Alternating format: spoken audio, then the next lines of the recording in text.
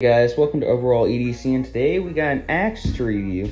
Um it's not really much but it's i figure I, i'd review it. Uh this is just one of my axes in my collection. I got multiple types.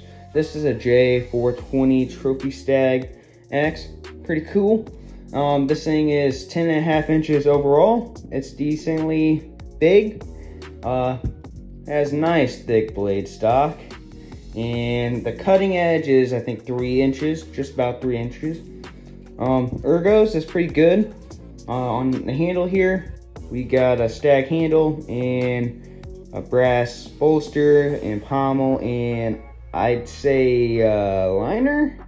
I don't know what would you call this middle piece there, but fits pretty good in the hands. It's kind of heavy. It comes in this nice little leather sheath it fits real well and carries real well. There's not much about this thing. This had a mirror polish blade. You can still kind of, like you can see me there. It's a little scuffed up though. There's a tree that needed to be trimmed and I decided, let's use this thing, see how it does. It actually performed really well.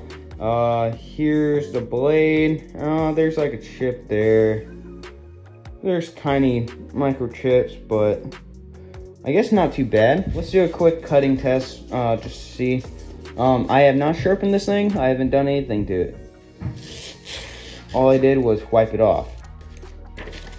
Oh, by the way, the pictures are just like old drawings from years ago, so ignore that. I mean, overall, that's not bad. I mean, and I like trimmed some trees. They were thick limbs and stuff. Worked really, really well. Performed really well.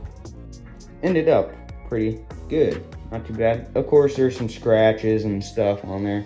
But overall, not too bad. It's not much. Uh, I just figured I'd show you guys my trophy stag axe. I got a bunch of knives. And when I say a bunch, I think I mean a bunch.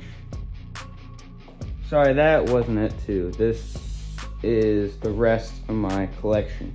So, if you guys would like to see more content over pocket knives, swords, axes, fixed blades, whatever you're thinking of that has a blade, make sure you like and subscribe to see more.